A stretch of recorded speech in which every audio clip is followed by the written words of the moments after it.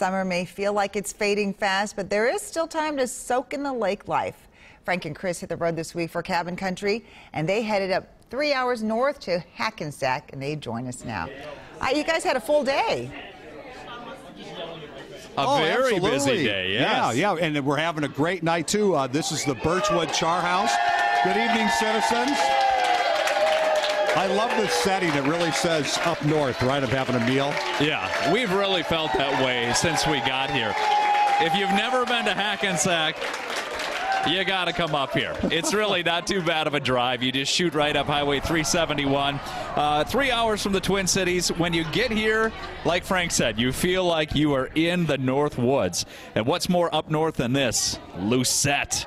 Yes, Hackensack is home to Paul Bunyan's girlfriend. We've been talking about her, uh, but it's also home to 127 lakes, and that's just in a 10 mile radius. So, it really is a perfect spot to go to the lake. Plenty of places to fish, boat, and enjoy the water. And when you're off the water, there are several good places to eat here in Hackensack. A nice variety for a small town.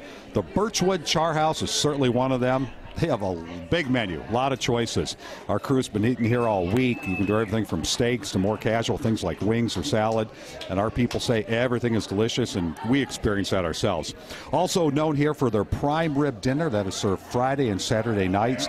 And it is certainly worth the trip to come out. So uh, big shout out to uh, Linda and Rick who run the uh, Birchwood Char House here. They're very hospitable, kind folks. Yeah, and it's easy to have a good time here at the Char House because of this crowd. I mean, everybody is so much fun to hang out with, and we do love showcasing these towns. And